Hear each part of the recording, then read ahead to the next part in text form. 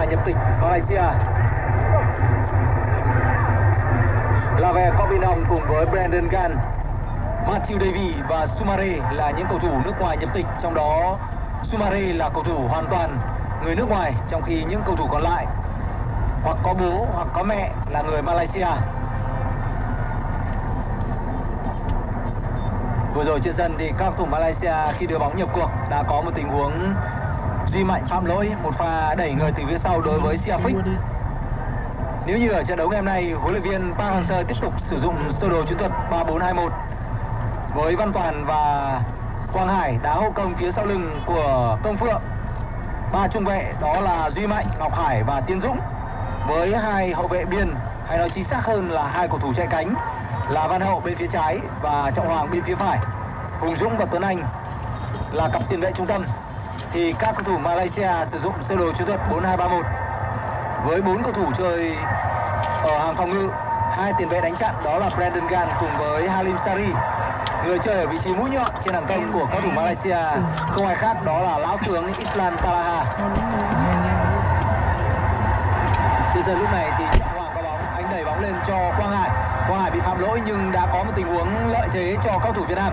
Bóng được mở lên phía trước trách cho bên phía cánh trái cho Văn Toàn từ đầu trận đấu tới giờ thì bóng đã rất nhiều lần được cao thủ Việt Nam nhồi lên phía trước và hướng hầu hết về bên phía cánh trái vị trí của Văn Toàn. Cầu thủ có tốc độ tốt. Đây có lẽ là một trong những ý đồ chiến thuật của huấn luyện viên Park Hang-seo.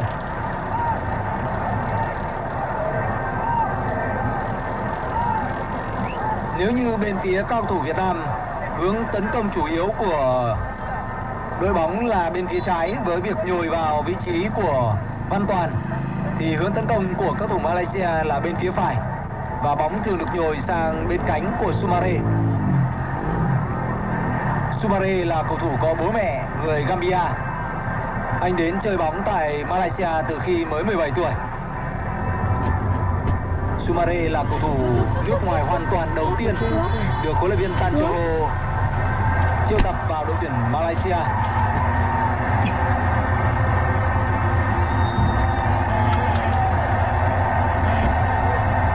Sân vừa rồi thì Duy Mạnh đã có một tình huống phát triển bóng dài lên phía trước cho Trọng Hoàng. Tuy nhiên Trọng Hoàng đã bị Combinong, hậu vệ trái của đội tuyển Malaysia đẩy ngã từ phía sau.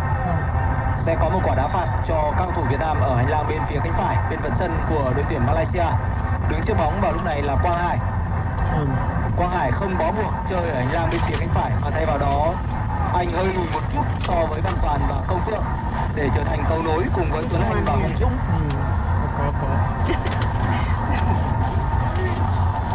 Lúc này đứng trước bóng là Quang Hải. Có lẽ sẽ là một tình huống treo bóng bổng. Bóng được treo bổng về phía cột hai, Sao Hương Sát đánh đầu ra và bóng tới vị trí của Hùng Dũng. Hùng Dũng thực hiện một cú dứt điểm bằng chân trái. Bóng nảy người hàng phòng ngự của các thủ Malaysia nảy ra. Sau đó tới vị trí của Quang Hải. Quang Hải định đánh gót đưa bóng tới vị trí của Tuấn Anh. Tuy nhiên bóng đã đập vào chân của hậu vệ Kobe Dong và đi ra ngoài đường biên dọc. Quả ném biên dành cho các thủ Việt Nam vẫn ở bên phần sân của đội tuyển Malaysia. Bóng được ném lên cho Quang Hải. Ờ, Quang Hải trả bóng lại cho Trọng Hoàng. Trọng Hoàng quyết định đột phá. Cầu Anh phối hợp với Quang Hải. Quang Hải đẩy bóng vào trong cho Công Phượng. Không không chế được bóng. Bóng lại trở về chân của Siap. Và Quý Ngọc Hải đã giành lại được quyền kiểm soát bóng. Quý Ngọc Hải bấm bóng cho Văn Toàn di chuyển. Đã có một tình huống phạm lỗi rất nguy hiểm. Một pha vào bóng bằng gầm giày của Siap tới với Trọng Hoàng trọng tài người Iran đã ngay lập tức chạy lại và nhắc nhở đối với Siafik người chơi ở vị trí hậu cầm phía sau lưng của Islam Talaha. Trong khi đó, bên phía đội tuyển Malaysia vẫn đang có một người nằm đau ở trên sân, đó là cầu thủ chạy cánh Safawi Safawi là người đã từng ghi bàn vào lưới của Đặng Văn Lâm, từ quả đá phạt trực tiếp ở bên ngoài. Vòng cấm trong khuôn khổ của trận chung kết lượt đi AFF Cup 2018 trận đấu giữa đội tuyển Việt Nam và đội tuyển Malaysia tại sân vận động Mỹ Đình và chúng tôi đang tường thuật là cuộc trận đấu đầu tiên giữa hai đội bóng trong năm 2019. Lúc này thì Quang Hải lại chuẩn bị là người thực hiện quả đá phạt trực tiếp, vẫn ở cách bên kia cánh phải. Lần này xa hơn một chút, nhưng có lẽ sẽ lại tiếp tục là một tình huống treo bóng bổng vào trong khu cấm địa tài mút người Iran và lúc này vẫn đang phải nhắc nhở cầu thủ của cả hai bên ở những phút vừa qua đã có những tình huống sau đây khi mà cả hai bên đều đang dàn thế trận để chuẩn bị đón tình huống che bóng bổng của Quang Hải và trong khu vực cấm địa của Malaysia. Bóng được treo bóng và đánh đầu ngược về phía sau.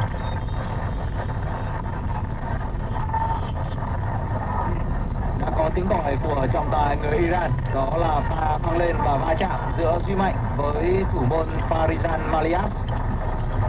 Farizan Malias không chỉ là thủ môn mà anh còn là đội trưởng của đội tuyển Malaysia. Malias thực hiện quả đá phạt, anh bấm bóng lên phía trước. Trọng Hoàng đánh đầu, hơi trượt về phía sau và bóng tới vị trí của Siafik Siafik chuyển vào trong. Tiến Dũng là người đã kịp thời bọc lót cho đồng đội và anh phá được bóng ra. Bóng tới vị trí của Trọng Hoàng. Trọng Hoàng bị đeo bám rất sát, anh trả bóng lại cho Duy Mạnh. Duy Mạnh lại phá bóng lên, bóng vẫn đang luẩn quẩn bên ngoài khu vực 60 của đội tuyển Việt Nam.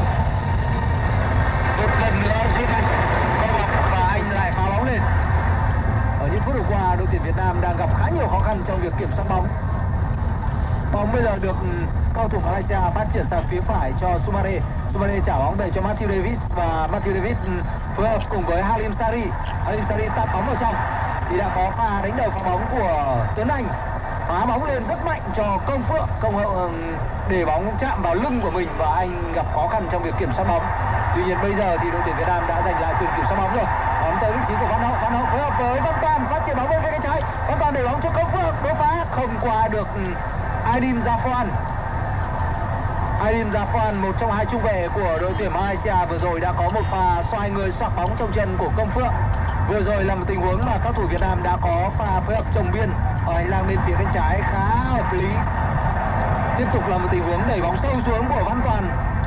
Văn Toàn vừa rồi đã đua tốc độ cùng với trung vệ bên phía đội tuyển Malaysia và buộc Sarun Saad phải phá bóng đi hết biên ngang và như vậy là sẽ có một quả đá phạt góc dành cho cao thủ Việt Nam ở bên phía cánh trái theo tấn công của mình. Như vậy là vào lúc này thì mỗi bên đều đã có một quả đá phạt góc. Người chuẩn bị thực hiện quả đá phạt góc cho đội tuyển Việt Nam đó là Hùng Dũng.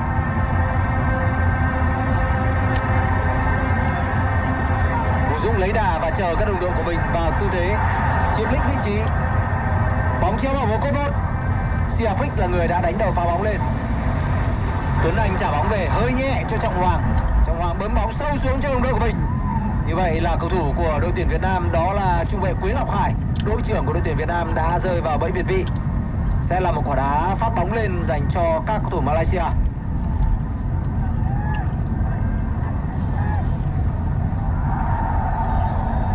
Vừa rồi là tình huống không phải một mà có tới ba cầu thủ của đội tuyển Việt Nam đứng ở tư thế việt vị.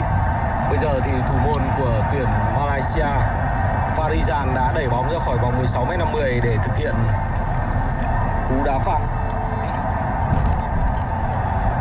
Anh đang chờ các đồng đội của mình ở phía trên di chuyển, sẽ là một pha đẩy bóng dài sang phần sân của đội tuyển Việt Nam. Farizan quan sát đồng đội của mình phía trên và bóng được đưa bổng tới gần khu vực 16m50. Duy Mạnh bật cao đánh đầu phá bóng và đồng đội của anh tiếp ứng phá bóng lên cho Công Phượng. Công Phượng không kiểm soát được bóng. Các cầu thủ Malaysia đang tranh chấp bóng bổng một cách quyết liệt. Cuối cùng thì bóng đến chân của Quang Hải. Quang Hải phối hợp cự ly gần với Tuấn Anh.